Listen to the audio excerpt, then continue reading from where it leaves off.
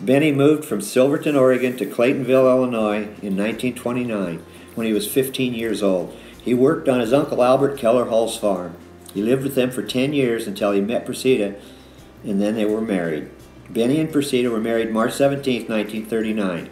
Settling in Cissna Park, Illinois, Benny continued to work for his uncles all the years he lived in Illinois. He also had his own small dairy. Benny never owned his own land but lived on one of Albert's farms.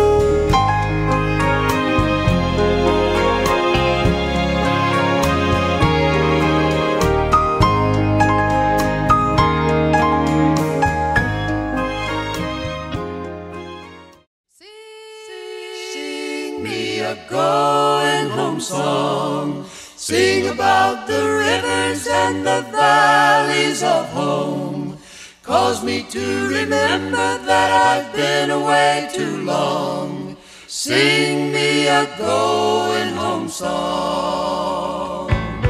Mama's in the kitchen, fried chicken's in the air. I can hear her singing, see her silvery hair. Dad's down in the field where he'll be working late. Home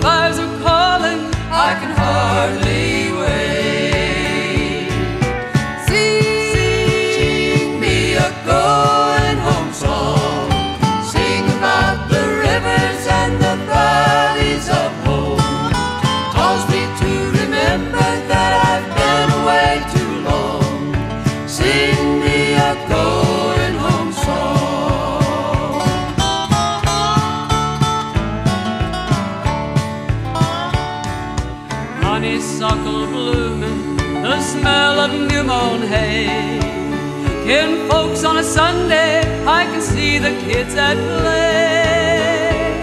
From the city to a winding road and a little country town. Happiness and laughter when I set my suitcase down.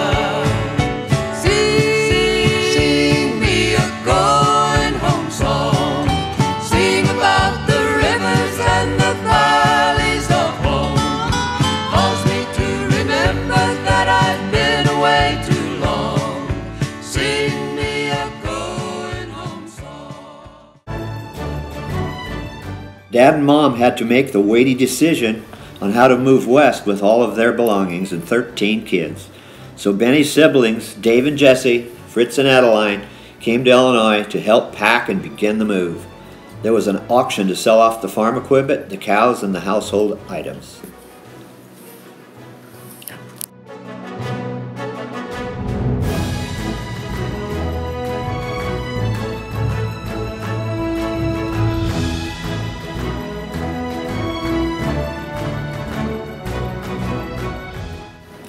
The younger ones in the family were the first to leave. Departing Chicago, Illinois by train was Aunt Jessie, Donna 10, John 5, Margie 3, Mary 2, and Brenda was the baby.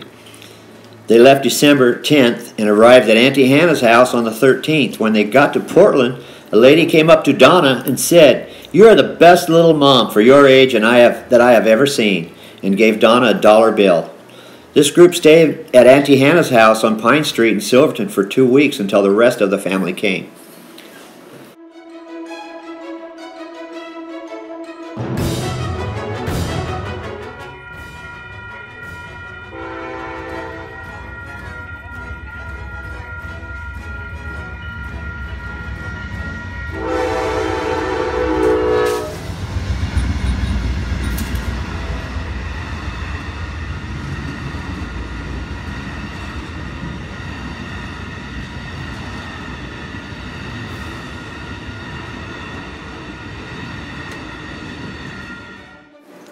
The following week, the next part of the family left on December 16th with a moving truck and a 1950 Plymouth car. This group was Uncle Dave, Uncle Fritz, and Aunt Adeline. Stephen 16, Larry 11, Roy 7, Eldon 6. They arrived on Friday the 20th and stayed at Grandpa and Grandma's house on Sela Springs Road.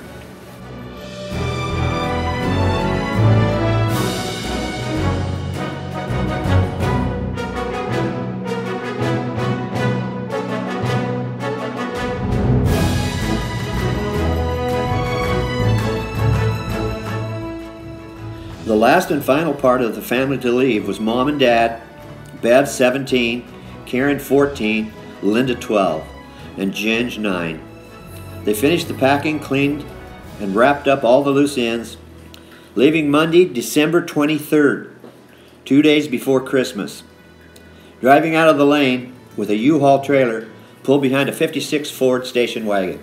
At that time, we had to weigh the loads and we were over the weight limit, so sadly, Mom had to leave a few things behind.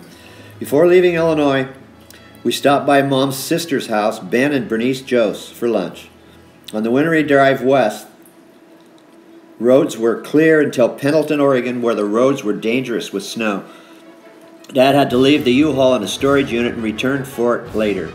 December 25th, Christmas Day, was a happy reunion for everyone to meet at Auntie Hannah's house. We settled in a house in Silverton for four first four months before leaving, before moving to 323 Hal Prairie Road.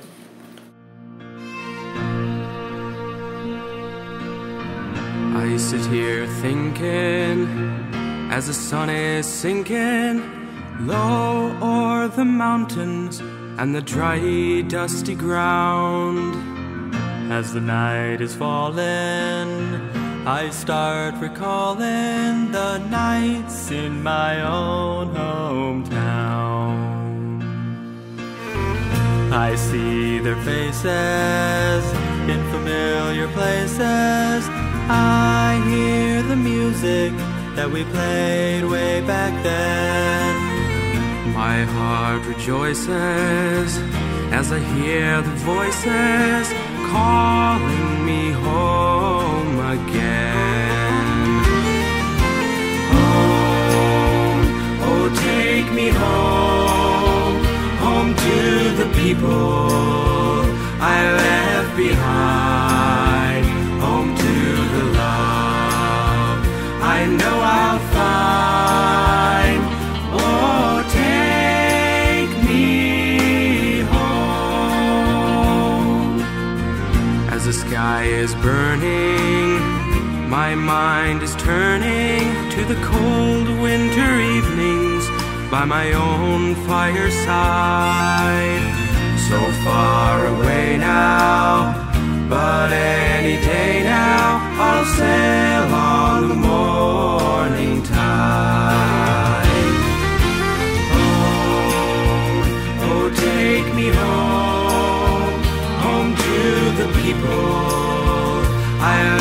behind.